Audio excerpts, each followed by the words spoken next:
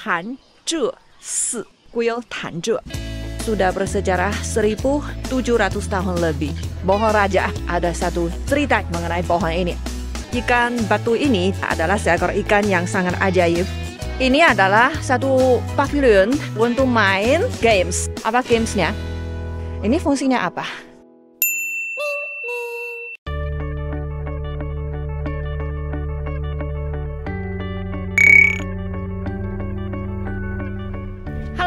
Welcome to my channel. Saya Nining asli Beijing Tiongkok. Hari ini ikuti Nining mengunjungi satu kuil atau temple yang paling bersejarah dan skalanya paling besar di kota Beijing, Tiongkok. Ayo.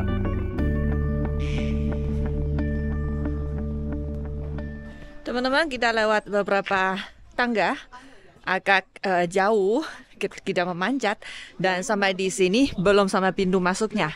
Nah, di sebelah sini adalah wilayahnya kehidupannya biksu dan apa ya pengurusnya uh, kuil atau taman ini. Dan kita kalau mau ke kuil lewat sini namanya Tan Si. Kuil Tan. Teman-teman, ini tiketnya saya beli online 50 yang satu orang. Tapi kalau bagi orang lansia, kalau bagi orang lansia seperti orang tua saya, mereka sudah punya kartunya dari pemerintah. Uh, itu membuktikan mereka adalah orang lansia di kota Beijing, bisa gratis masuk. Teman-teman, ini adalah pintu masuknya. Di sini ada satu papan, uh, adalah dari uh, zaman kuno di Tiongkok, dari Kaisar Kangxi. Uh, ini adalah lapisannya emas, tulisannya adalah Chijian Xiu Yun Chansi. Chijian artinya uh, ini dibangun menurut perintahnya Kaisar. Nah, Xiu Yun Chansi adalah nama dulunya pada dinasti Qing. Uh, waktu itu bukan kuil Tanzhe, adalah kuil Xiu Yun Chansi. 哇，巴拉隆天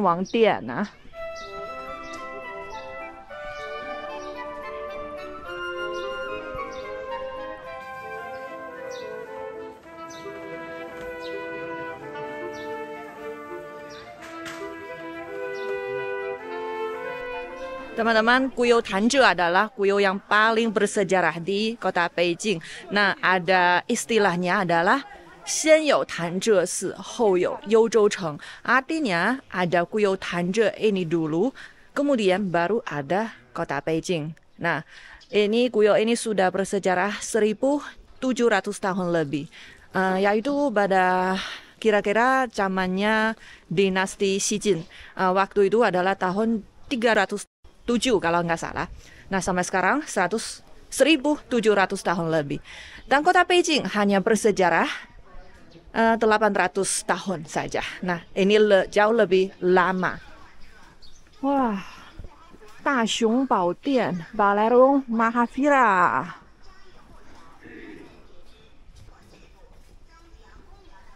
Strukturnya kuil di Tiongkok biasanya uh, ada format yang sama. Misalnya di sebelah kiri dan sebelah sana ada menaranya Longzhen dan Gendrang dan harus ada balarung utamanya adalah balarung Mahavira. Banyak orang ya mau bersembahyang ke sini karena katanya bersembahyang ke sini kalau di Balarung Mahavira untuk mendoakan kelancarannya karir atau uh, sekolah ini sangat apa ya uh, sangat bagus bisa terwujud.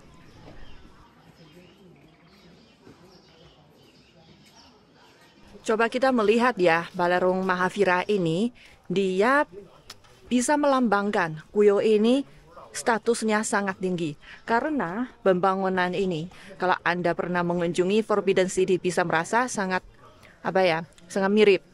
Ini sangat mirip dengan Balarung. Taihe adalah Balarung, Balarung yang paling utama ya di dalam Forbidden City paling tinggi itu.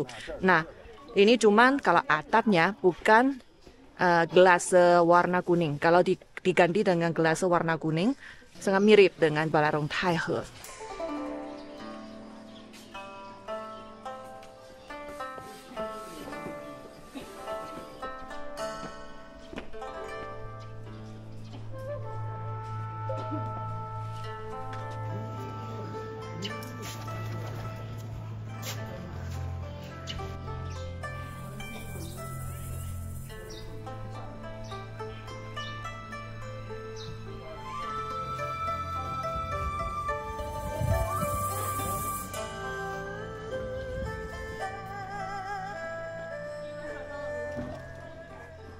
Sangat besar sekali dan ada dua susun atapnya dan di atapnya ini binatang-binatang patungnya ini justru karena kuil ini pada uh, dinasti Ming dan dinasti Qing ini khusus untuk kaisar.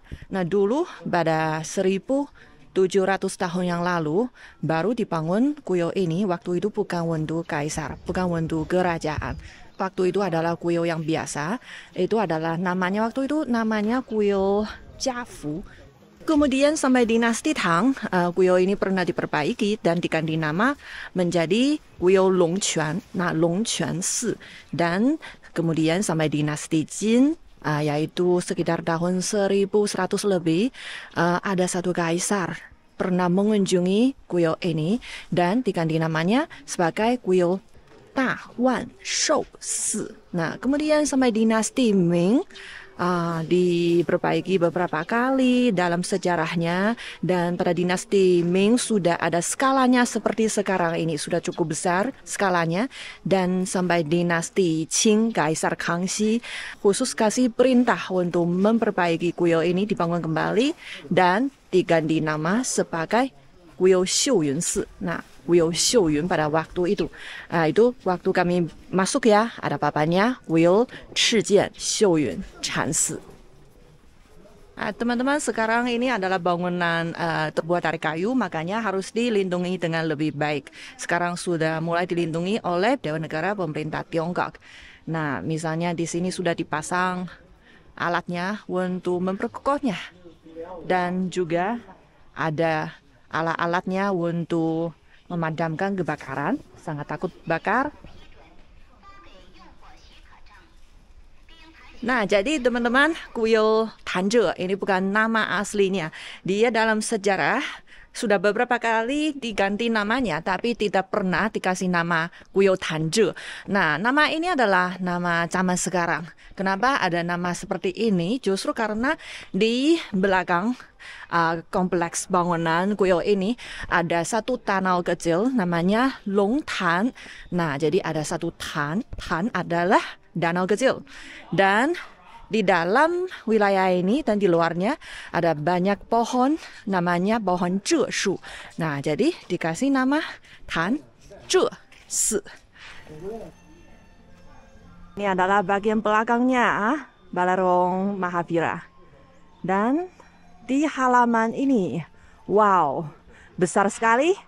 Ada uh, prasasti, ada boho yang besar sekali, dan juga ada satu balarong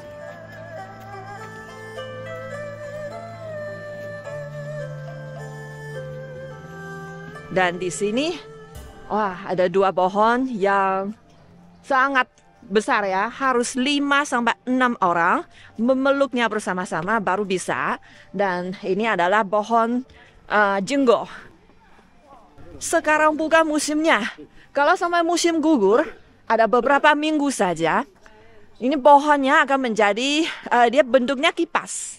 Cantik sekali dan akan menjadi warna kuning. Wah, cantik banget waktu itu.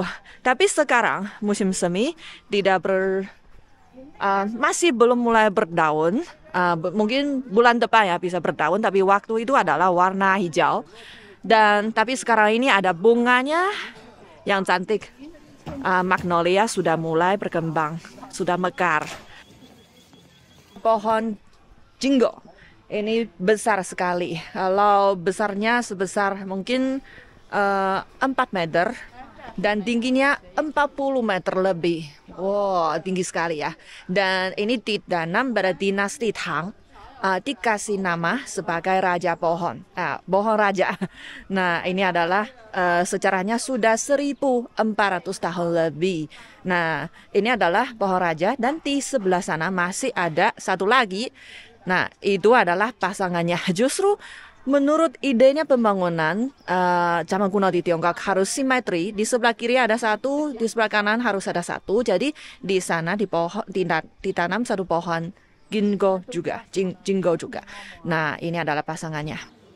Tapi sayang sekali, ini bukan sepasang. Ini se kedua-duanya adalah uh, jantan. ada satu cerita yang ajaib mengenai pohon ini pohon ini sejak dinasti Qing setiap kali ada seorang kaisar naik tahta, dia akan sendiri uh, tumbuh satu batang lagi, batang yang baru lagi. Sampai sekarang ada yang lebih besar, ada yang lebih kecil.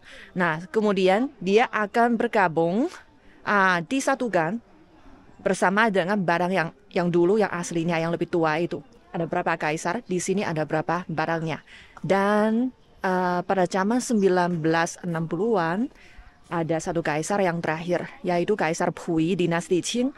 Waktu itu dia sudah menjadi seorang warga negara yang biasa ya di Republik Rakyat Tiongkok. Dia sudah menjadi orang biasa dan dia pernah mengunjungi Guyo Tanje.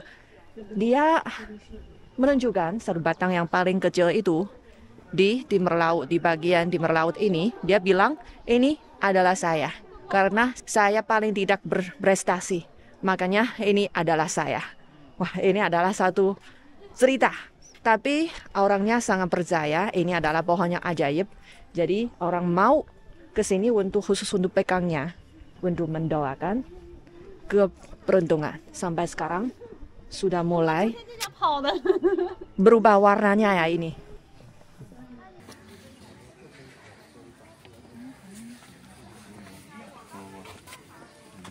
Saya juga pegangnya untuk mendoakan kesehatan, kesejahteraan kepada keluarga saya dan semua teman saya. Di sini ada foto-fotonya, pameran fotonya, yaitu pada zaman 1930-an. Ya, keadaannya Guyo ini. Wah, biksu. Ini adalah pintu pintunya. Ini adalah patung Buddha di dalam Guyo ini dan halamannya. Wah. Halamannya di dalam guyonya. Tupah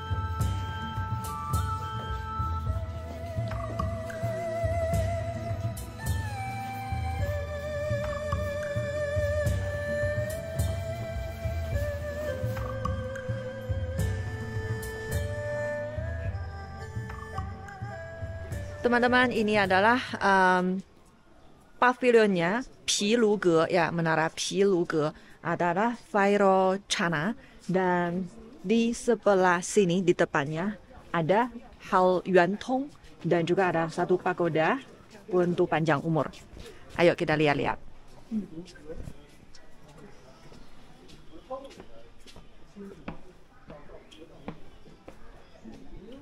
Menurut penjelasan ini, um, saya baru tahu Yuan Tong adalah sebutannya penganut agama Buddha terhadap Bodhisattva Kuan Yin. Dan di dalam hall ini, hall Yuan Tong, uh, dipersembahkan patungnya Buddha Kuan Yin. Dan katanya Buddha Kuan Yin bisa berubah dalam 33 rupa. Nah, dan di dalam palarong ini, selain dipersembahkan patung yang rupa aslinya, juga ada 32 uh, patung dalam rupa yang lain. Misalnya yang pegang uh, bunga terate atau yang pegang kitab dan juga lain sebagainya. Di sampingnya Hao Yuan Tong ada satu pagoda. Di sampingnya pagoda ini adalah Zhang Dian ya, uh,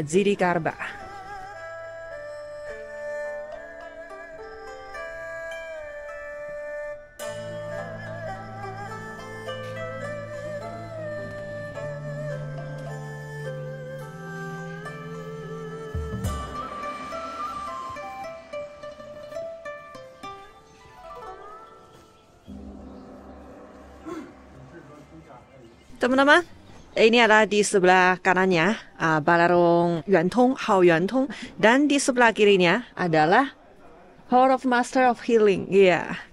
Balarong Yao Shi Dewa Yao Shi. Kita ke sebelah sana lihat-lihat. Katanya ya, kalau mendoakan kesehatan di sana, bisa impiannya bisa terwujud, bisa sehat. Tidak besar, tapi ramai juga. Banyak penganut doa ke sini. Orang Tiongkok percaya, uh, Yao Shi, Master of Healing, Buddha Yao Shi bisa menghilangkan semua sakit, semua sengsara. Sudah mendoakan?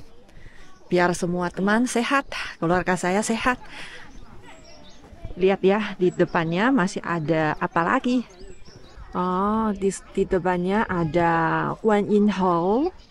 Yang lagi. Oke. Ini, kuil ini sudah bersejarah lama dan banyak peninggalan sekarang di, di sini adalah uh, peninggalannya dinasti Ming dan dinasti Qing bahkan yang lebih tua lagi. Kalau Anda punya waktunya bisa jalan-jalan ke sini. Tapi tempat ini, objek wisata ini agak jauh dari pusat kota. Jadi jarang ada rombongan pariwisata akan berkunjung ke sini. Dan di sini memang ada banyak bangunan sejarah.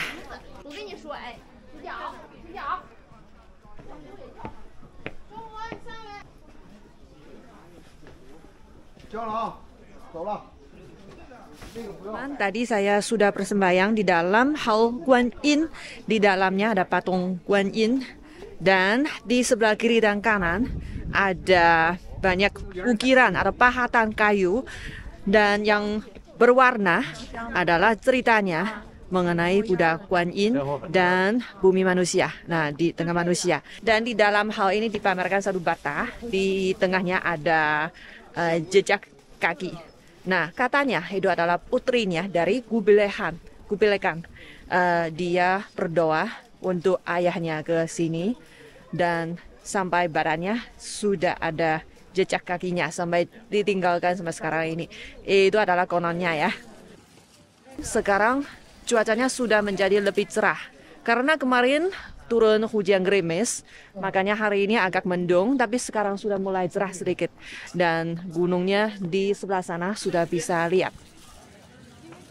Oke, kita teruskan ya, jalan-jalan ke sebelah sana.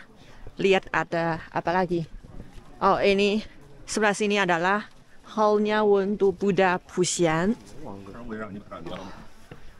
di lebih depan adalah Lungwang Dian ya, hallnya Raja Naga.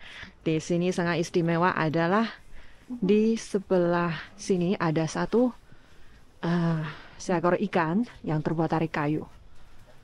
Wow. Katanya ya teman-teman, kalau begang ini, ikan batu ini, semua sakit akan hilang tidak tidak akan sakit lagi, kami akan sehat. Saya pegangnya ya. Wow. Ini belakangnya. Teman-teman, ikan batu ini dia adalah seekor ikan yang sangat ajaib. Ada satu legendanya, sangat sebuah ceritanya. Katanya ini adalah ikannya yang diserahkan oleh Raja Naga kepada Raja di Langit, Yu Huang Tati ya, Raja di Langit. Dan uh, suatu hari di bumi manusia ini gena bencana, makanya Raja di Langit kasih ikan ini kepada manusia, kepada bumi, biar dia bisa membantu manusia uh, mengalahkan kesulitannya waktu itu. Dan ikan ini sangat ajaib Katanya kalau di provinsi yang mana kena misalnya bencana uh, kering akan diketok di bagian yang uh, terkait itu di provinsi itu akan turun hujan. Dan kalau bagi orangnya kalau orangnya sakit di bagian tubuhnya yang mana ketok di bagian atau pegang di bagian yang terkait itu di ikan ini dia sakitnya bisa sembuh. Wah, ini adalah satu legenda yang sangat bagus ya. Sampai sekarang ini banyak orang mau bikin ikan batunya ke sini. Di bawahnya ada banyak yang lagi melemparkan koin untuk mendoakan rezeki. Oke, kita jalan terus ke sebelah sini. Wow, kami bisa lihat di sebelah sana masih ada. Wah, tapi rasanya agak jauh. Jadi saya nggak mau ke sana lagi. Saya mau ke sebelah sana. Di sana ada satu pavilion yang sangat ajaib. Saya cari ke sebelah sana.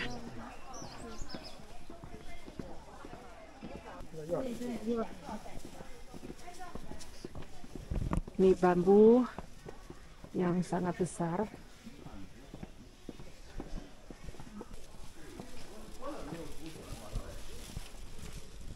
Sebelah sini kita belok ya. Lewat sebelah sana kita ke halaman tadi ini ya. Di sini ada pohon raja dan kami ke sebelah timur. Maju depan. Dia lihat ke sana ada apa. Teman-teman, seorang teman saya uh, tahun lalu mengunjungi kuil Tanjesi ini, dia ketemu seekor rubah di sini. Nah, katanya banyak wisatawan pernah ketemu rubah itu di sini, tapi hari ini saya nggak ketemu. Mungkin hari ini lebih ramai. Wow, teman-teman, saya cari-cari ya. Sampai akhirnya saya ketemu pavilion ini. Ini sangat menarik.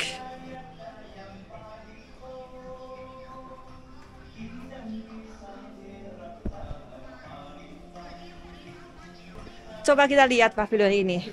Ada rahasia apa? Wow, keren sekali teman-teman.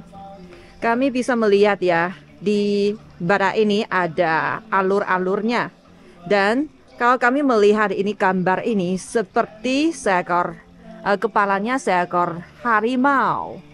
Harimau. Kami berdiri di sebelah uh, utara mengarahkan ke sebelah selatan. Ini adalah kami melihatnya harimau. Biasanya kaisar berdiri di mana? Di utara menghadapi selatan. Dan kami ke sebelah sana. Sekarang kami di selatan menghadapi utara. Coba lihat. Ini mukanya berubah menjadi kepalanya seekor naga ya ada tanduknya ya di sana.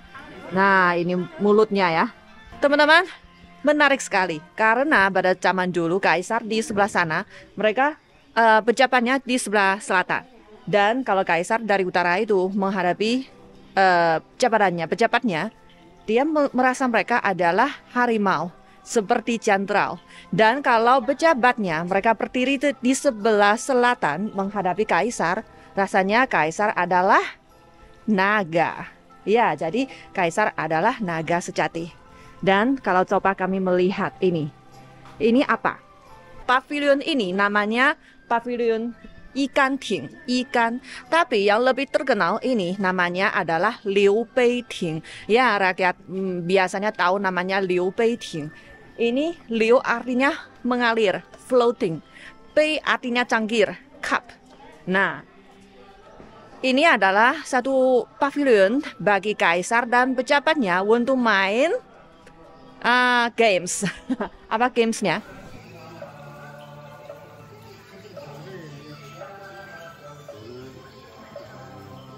Teman-teman kami bisa melihat ya dari sana ada airnya mengalir dari endah endah dari mana mengalir ke sini dan air di tengah alur-alur ini adalah yang mengalir bukan yang berhenti dan waktu dulu orangnya suka membaca atau menulis puisi. Jadi kaisarnya sama pejabatnya yang mereka sangat berpengetahuan, mereka main gamesnya adalah uh, mereka punya cangkirnya. Cangkirnya daroh di alurnya ini. Dan kalau cangkirnya mengalir sampai berhenti di mana, siapa yang berdiri di posisi terkait itu, dia harus menciptakan satu puisi. Nah, ini adalah gamesnya pada zaman kuno. Kalau di seluruh kota Beijing, totalnya ada tujuh pavilion seperti ini. Tetapi sampai sekarang ini ada tiganya sudah rusak, sudah nggak ada. Karena waktu itu ada berang. Nah, sudah nggak ada. Sekarang di Beijing hanya tinggal lima saja. Dan semua lima pavilion Liu Beiting yang sama dengan ini khusus digunakan untuk kaisar. Yang ini di kuil Tanje ini adalah yang satu-satunya yang masih ada air airnya sampai sekarang sudah bisa dinikmati oleh wisatawan oleh orang biasa. Yang lain sudah dilindungi, nggak bisa main lagi. Dari sana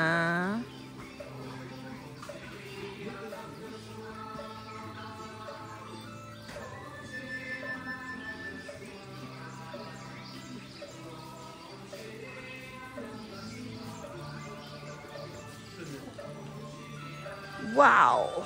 Tapi teman-teman, sekarang kami bisa main cangkir di sini. Tapi kalau cangkirnya berhenti di hadapan saya. Saya tidak bisa menulis puisi apa pun. Saya hanya tahu puisi dinasti Tang. Saya bisa baca, tapi nggak bisa nulis. Iya, bagi orang zaman sekarang ini ya, kami ada banyak yang pengetahuannya dari zaman kuno itu kami nggak bisa ngerti. Misalnya acara bangunannya, ada banyak yang masih menjadi rahasia. Sampai sekarang ini masih belum ditahu.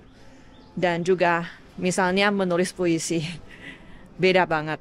Kalau puisinya dinasti Tang, wah indah banget, indah sekali. Teman-teman, saya keluar dari sana. Di sebelah sini ada Cai Shen Dian. Iya, hallnya untuk dewa kekayaan.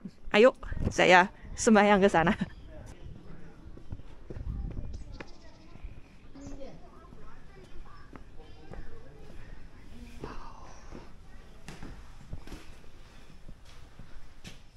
Di mana-mana ada pohon kuno ya, ratusan tahun.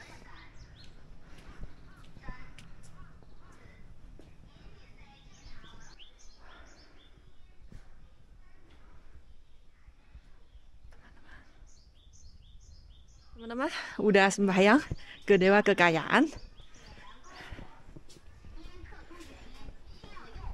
Oke, saya mau turun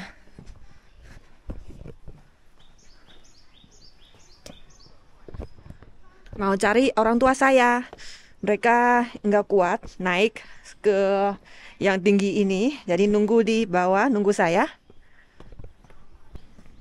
Teman-teman, dulu waktu saya kecil lewat sini, lewat apa ini keberah ini bisa langsung naik ke gunungnya untuk mendaki gunung. Pemandangannya bagus banget, ada banyak pohon, bunga. Tapi sekarang ini karena uh, mungkin ya dulu karena tahun lalu kan ada banjir kan. Jadi sekarang ini untuk keamanan sudah dilarang masuk uh, naik ke gunungnya. Sekarang masih belum dikonfirmasi aman. Nah jadi hari ini nggak mau mendaki gunung. Sebenarnya saya nggak kuat juga, nggak mau. Teman-teman, uh, ini adalah satu taman uh, Kuyo ini sudah dibangun menjadi satu taman objek wisata dan di dalam uh, halaman ini selalu ada broadcastingnya yang kasih tahu kami harus menjaga keamanan, jangan menimbulkan kebakaran. Nah, di dalam palerungnya nggak boleh ada tumpah, harus di luarnya. Di kuyonya ada banyak uh, tembayan-tembayan yang besar seperti ini, sama ya, uh, ada juga di Forbidden City. Ini fungsinya apa? Pada zaman kuno di Tiongkok ini adalah untuk menyimpan air untuk memadamkan kebakaran, mencegah kalau-kalau kebakaran airnya bisa dipakai. Tapi sekarang banyak orang taruh koinnya ke dalamnya biar uh, mendoakan keberuntungan. Oke okay, teman-teman, kami meninggalkan Bararong Mahavira mau turun keluar kuyol ini. Sebenarnya di sebelah sana masih ada bangunannya.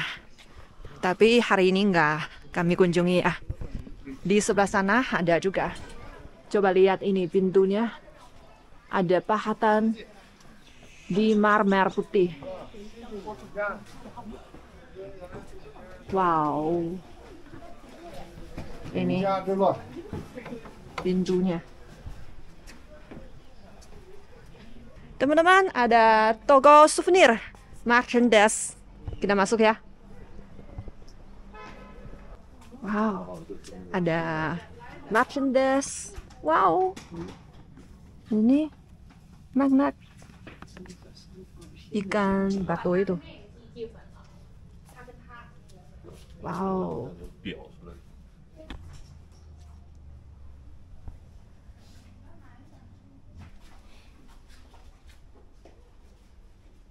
beli satu magnet.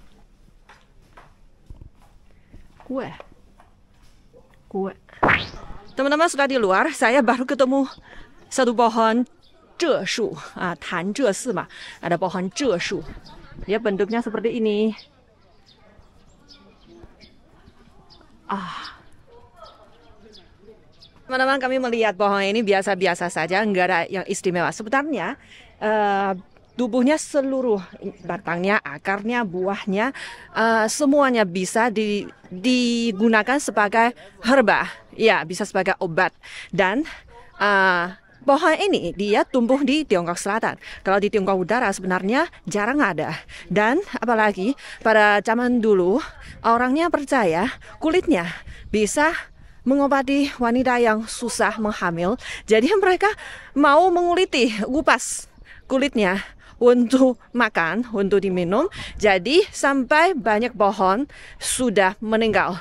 Nah, sekarang ini hanya tinggal beberapa pohon saja di gunung ini di wilayah ini di sekitar Guyo Tanzhe saja. Makanya pohon ini kami melihatnya biasa-biasa saja, tapi sebenarnya berharga juga. Guyo Tanzhe Ce udah ada. 潭给妈呢？还有个以前就是一个龙有一个龙头。石头的嘛。对最早老就是一个潭它远在它里边儿那个石头它就那个为什么叫龙潭呀？后边儿就就老有泉水常年不断。